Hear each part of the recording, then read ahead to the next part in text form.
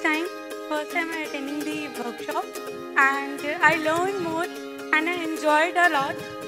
But now I realise कि अगर like Vikas sir जैसे रिसोर्स पर्सन मिल जाए तो बहुत कुछ सीखने को मिलता है। Like Picasso painting that's a million dollar worth for us today's workshop is also a million dollars worth I have never seen my watch in the last 5 hours otherwise every workshop after every one hour I use to see कि यार अभी पंद्रह minute ही हुए हैं। मतलब ये कब खत्म होगा? I was telling the other teachers outside. So thank you so much Vikas sir.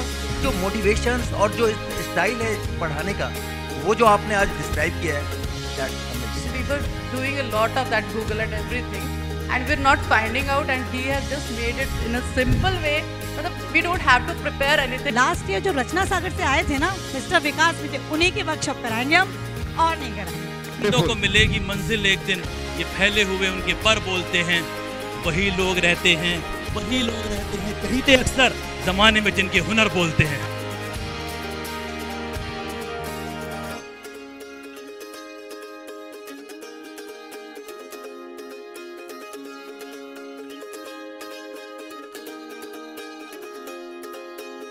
अगर आज हम वही सेम टेक्निक लगाएँ, जो पुराना 10 साल 15 साल पहले लगाते थे, क्या ये सही है? इज़ इट ओके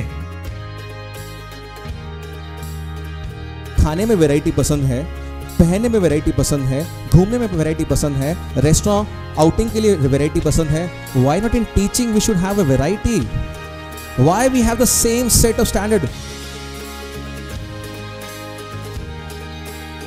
दो तरह के स्टूडेंट होते हैं। एक स्टूडेंट वो जो ये कहना चाहता है कि मैं कर नहीं सकता, और दूसरे तरह का स्टूडेंट है जो ये कहता है, मैं करना नहीं चाहता।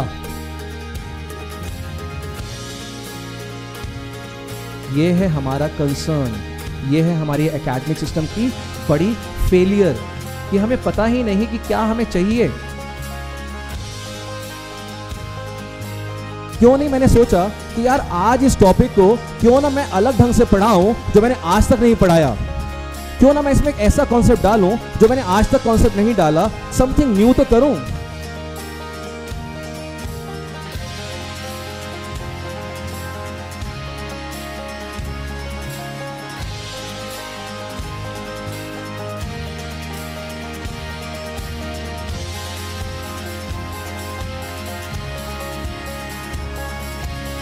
Only the good teachers are the assets for the society. Rest are liabilities. Let me tell you.